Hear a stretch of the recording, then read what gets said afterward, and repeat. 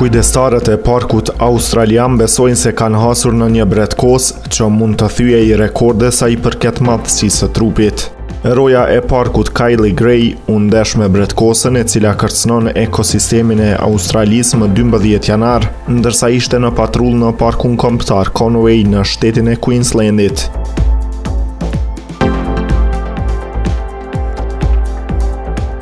Gray dhe kolegët e kapën bretkosën dhe e dërguan në zyrën e tyre, ku konstatuan se peshonte 2.7 kg, raporton The Guardian. Rekordin aktual Guinness e mban një bretkosë prej 2.65 kg, një kafshë shtëpiake suedeze që e mori atë titull në vitin 91.